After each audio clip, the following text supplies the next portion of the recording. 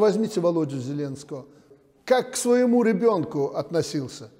Вот это Александр Григорьевич, вот это, это. Я к нему относился по-человечески, помогал. Но я понимал конфликт там, э, он не любит там Путина, не понимает.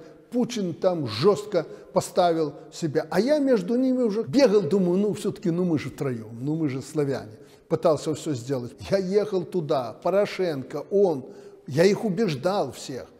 С кем только я не встречался, с Турчиновым даже.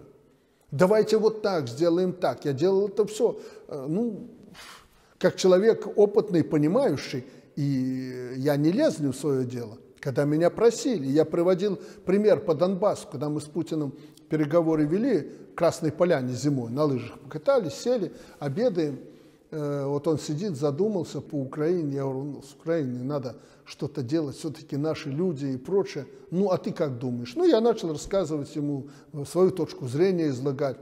Э, это после Дебальцева, помнишь, когда там мясорубка? Это да, да, Вот как раз два дня прошло, я и Шойгу переговорил, и с ним на эту тему. Меня первым поразил Шойгу.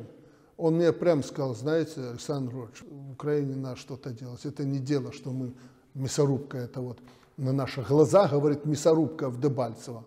И мне рассказал, я говорю, ты мне подробно расскажи, что там произошло. И Шойгу мне рассказал. Вот при Путине в него в кабинете сидели.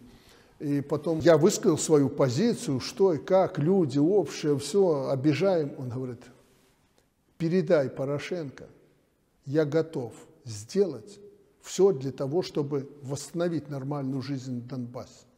Мы найдем деньги, чтобы люди достойно, нормально жили. Условия, просто выборы надо было провести, нормально провести выборы. Слушай, местные органы власти сегодня провели выборы, завтра, послезавтра новое поколение пройдет и все забудется.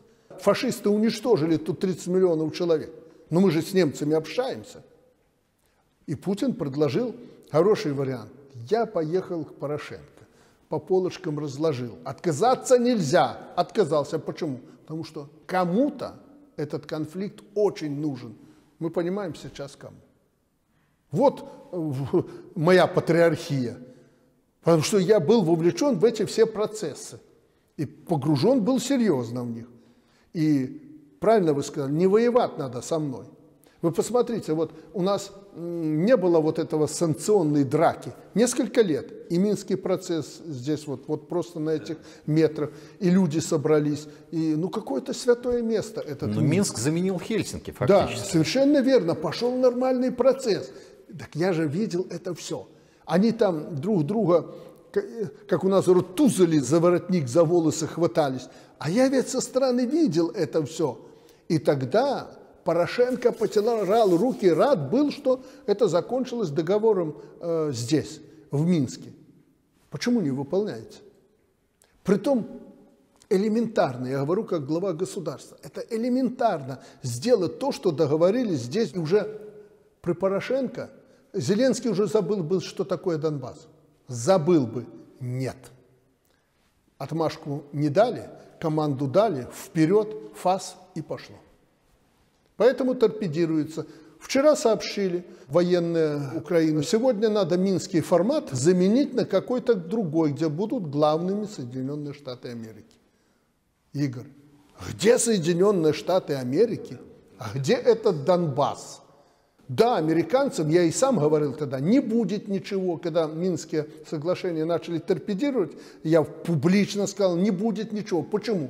Потому что надо американцев заставить, чтобы они Минские соглашения подписали, чтобы они были в этом процессе, потому что украинцы уже тогда при Порошенко плясали под дудку американцев. Так оно и произошло. Но никак не могут быть тут американцы главными и верховодить этим процессом. Это не их конфликт, это наш конфликт. Мы его должны э, разрулить. И война сегодня в Донбассе Всегда говорил Володя Зеленскому и Порошенко, говорю, у тебя, Петро, у тебя война идет, что ты Путина обвиняешь? Неважно, кто виноват, от, отбрось это все, но война идет у тебя. У тебя вот-вот за забором, это твоя страна. Ты должен быть заинтересован делать хоть маленькие шаги к стабилизации, там, чтобы люди жили нормально. Нет. И не потому, что они глупые, но потому, что ими управляют.